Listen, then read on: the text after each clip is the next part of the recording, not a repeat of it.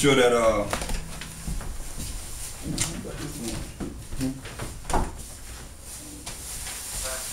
okay, all right. As always, you know, we give all praise and glory to the Most High and uh, allowing us to uh, come together and, and uh, you know, in a real way to be able to bring forth the truth and righteousness.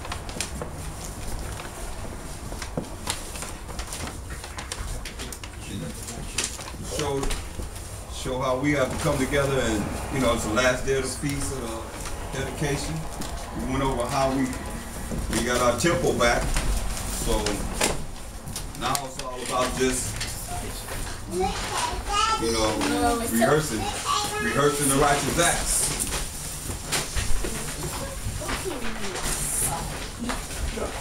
So I'm gonna start out with Colossians 3 and 17. It says, And whatsoever you do in word or deed, do all by Hashem Mashiach Yahushai, giving thanks to the Most High and the Father by Hashem Mashiach Yahushai. So all that we say do is going to be in the name of the anointed Savior, Mashiach Yahushai, which we always use, you know, that he, his Hebrew name because he spoke Hebrew. And that's something that we have to, you know, we look at because um, a lot of people they say it don't matter, but um, it do matter when you look at um, how we as a people we spoke Hebrew as the Israelites, and then we uh, we were made to speak all these other languages that we speak now: English, Spanish, French, German, or whatever language that we speak, Portuguese. You know what I mean? Of our conquerors, they conquered us, and then here we are now speaking all these different languages. Correct. You know what I mean? So now, let's get uh, St. John, the 10th chapter, and we're going to show that the Mashiach Yahushai, he observed this. And I'll say uh, Mashiach Yahushai because that's the anointed Savior. His name wasn't Jesus because the J was invented in 1630 AD. You know, so his name couldn't be Jesus. Right. we established that Yeah. numerous times, you know. Yeah. Let's get St. John, the 10th chapter, started at the 22nd verse. St. John chapter 10, verse 22. And it was at Jerusalem, the feast of the dedication. Right, this is where we at. We're in the feast of the dedication. Read. And it was winter. It was winter because sometimes it falls in like you know like it's right now it's the end of, of uh, November then we you know going into December we in December but sometimes it'd be winter it'd be like you know fall somewhere after you know the actual winter starts mm-hmm. read And Amasakosai walked in the temple in Solomon's porch. Then came the Jews round about him and said unto him, How long dost thou make us to doubt? Say, how long are you gonna make us to doubt read If thou be the Mashiach, if thou be who? Hamashiach, if you be if he be who? Hamashiach, he be Hamashiach. This is very important. They ask you if you be Jesus. They ask him if he be who? Hamashiach. You be Hamashiach, read. Tell us plainly. Tell us plainly. If you be the Messiah, you be the anointed, tell us plainly, read. Hamashiach answered them, I told you, and ye believe me, and you believe he- not. Right. So who's he saying that he is? He's letting them know that he is Mashiach. Right. Right? Uh-huh. He is Hamashiach. He said, I told you plainly, you didn't believe me. Read. The works that I do in my Father's name, they bear witness of me. So they bear witness of him, the works that he done in his father's name. Read. But ye believe So not, they don't believe. You don't believe me, read. because ye are not of my sheep. So those that don't believe he's a Mashiach, they're not of his sheep. That's why it's important. We always say Yahweh Shai, but this is a mystery. A Mashiach is a mystery. You know? Go ahead, say you don't believe because you don't believe I'm a Hamashiach because you're not of my sheep. There's many Jesus, there's many Yahushais, you know. Con. Right now they call him Hey Zeus. Right? So we know that today. Okay. Go ahead. As I said unto you, Uh-huh. my sheep hear my voice, His sheep hear his voice, read. and I know them, He knows his sheep, read. and they follow me. And they're gonna follow him. So if you're following him, then you're gonna speak about him. Con. Right. You're gonna stand for him. Right, you can confess him. So you confess you before the most high and before the angel. Read. and I give unto them eternal eternal He life. give to his sheep that hear his voice, which is the voice of the Most High, because he, he not speaking his own words, he's speaking the words of the Most High. He gonna give to them eternal life, read. And they shall never perish, They shall never perish, read. neither shall any man pluck them out of my hand. So if you about it, you about it, about it, then you gonna be about it, Mashiach Yahushua. Ain't nobody gonna be able to pluck you out of his hand, read. My Father, which gave them me, is greater than uh, than all, Right, so the Most High greater than everything, read. and no man is able to pluck them out of my Father's That's hand. what he said, nobody's able to pluck pluck them out of the Most High's hand, read. And I and my Father are one. they agree. Not, they're not the same. He already said the Most High is greater than all. So he come back and say, I and my Father are one, meaning they're, they're in agreement. They're in agreement together. Read. Then the Jews took up stones again to stone him. Uh, what, what it say they did what? Then the Jews took up stones again to stone him. they took up stones again another time to stone him. They, they didn't try it before. They didn't try it before. They took up stones again to stone him. Read. Hamashiach Answer them, Many good works have I showed you from my Father. For which of those works do ye stone me? Right. So why you gonna why, why you want to stone me? He said. This is at the feast of the dedication. Uh, It's a holy convocation. You know, the first day of the last day. I mean, he's there, and they want to kill him at a feast of the dedication that we celebrating now.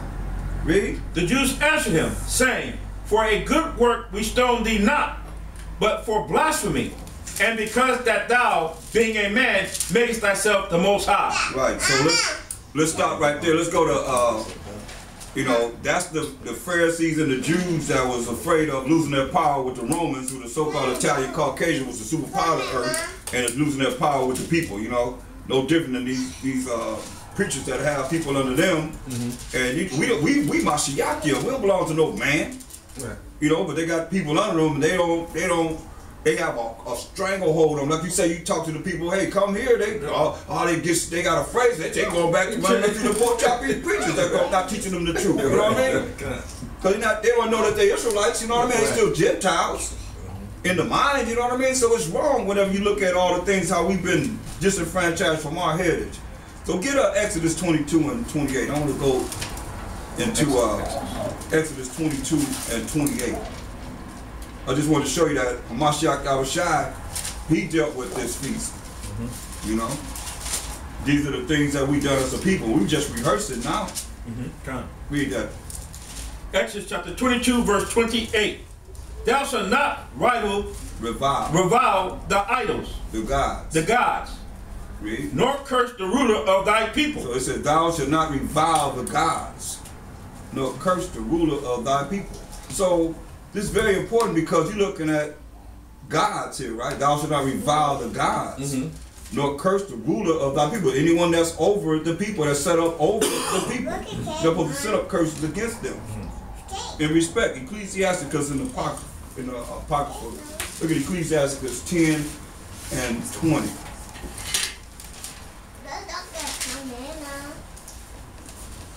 The Most High have order, and He said order, like just like He have order in, in, the, in the heavens, He got order on the earth too. Ecclesiasticus 10 and 20. Ecclesiastes chapter 10, verse 20, What page is it on?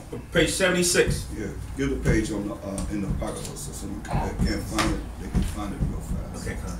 Ecclesiastes chapter 10, verse 20, page 76. Among brethren, he that is chief is honorable.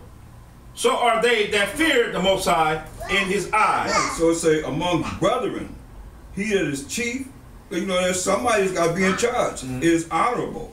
So are they that fear the Most High in His eyes. Read.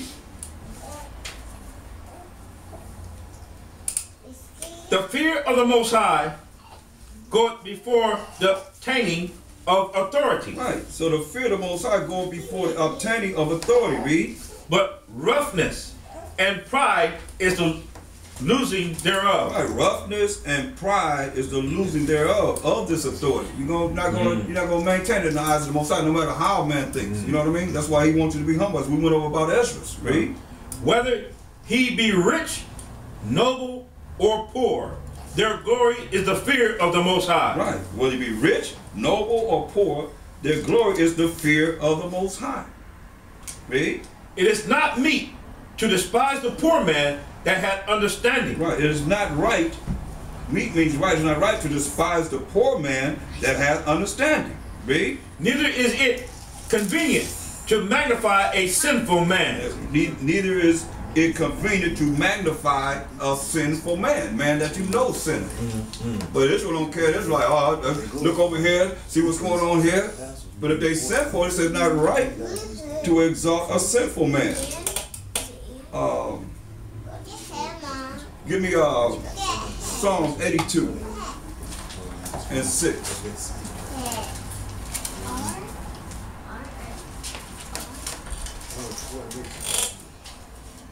Psalm 82 and 6. Psalm chapter 82, verse 6. I have said, Ye are gods, and all of you are children of the Most High. Right. You say, I have said ye are gods, and all of you are children of the Most High. Psalm 82 and 6. Read. But ye shall die like men, and fall like one of the princes. Right. Say, we're to die like men and fall like one of the princes. But he said, we are gods. Now, give me uh, John, the 10th chapter, and read, let's start at verse 34.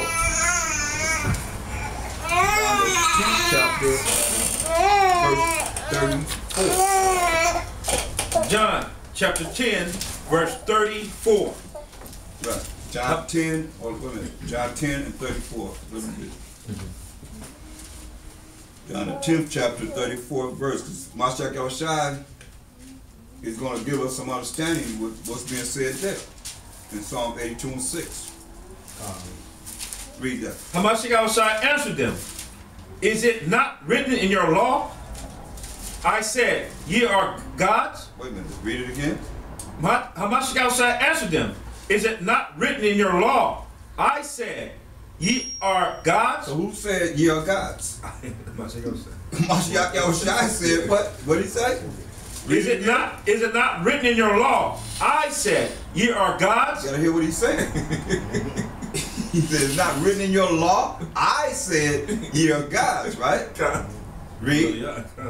If he called them gods, If he called them guys. now, now what is it? How do you understand the connection here? Mm-hmm. If he called them gods, even though Mashiach Yahushai said, I called you gods, mm-hmm. right? Okay. If he, who is who? Who did he? The Most High called them guys. read. unto whom the word of the Most High came, Who the word, who the word of the Most High come to? To, to Israel, read. and the scripture cannot be broken. Right. So who the world who the word come to? Psalms 147, 19 and 20. This is sure it ain't talking about everybody. Can't be talking about everyone. Because well, who the word came, read that. Psalm chapter 147, verse 19. He showed his word unto Jacob, his statutes and his judgments unto Israel. He had not dealt so with any nation. And as for his judgments, they have not known them. Praise ye the Most High. That's right. He showed his word unto Jacob, our forefathers. Forefather of the 12 tribes of Israel. His statutes and his judgment unto Israel. So he have not dealt so with any other nation. He ain't dealt so with any other nation. As for his judgment, they have not known it. So the nations have not known the judgment of the Most High. You know, that's why when you read the Bible, we going into captivity after captivity after captivity after captivity on all nations. Here we are now the last captivity we got to serve. We got next. Mm, we got next. Most High will, you know. But we know that through the Most High Mashiach Yahushua in Israel, we have next. Acts the 23rd chapter and the 5th verse. Acts 23 and 5. Acts chapter 23, verse 5.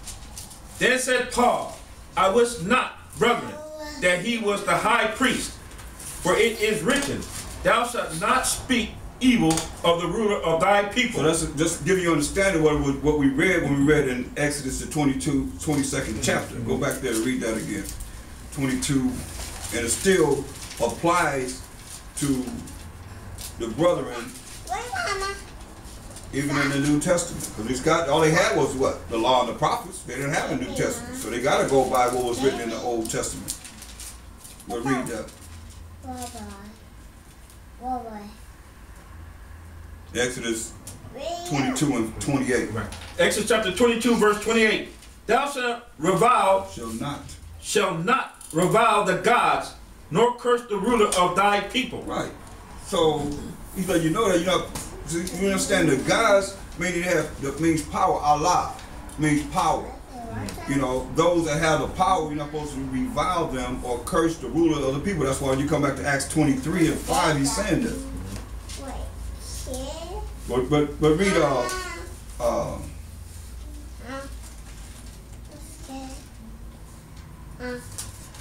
start at verse uh let's go back to one. Let's listen get the whole story of it. Read it. Acts chapter 23, verse 1. Right. And Paul, earnestly beholding the council, said, Men and brethren, I have lived in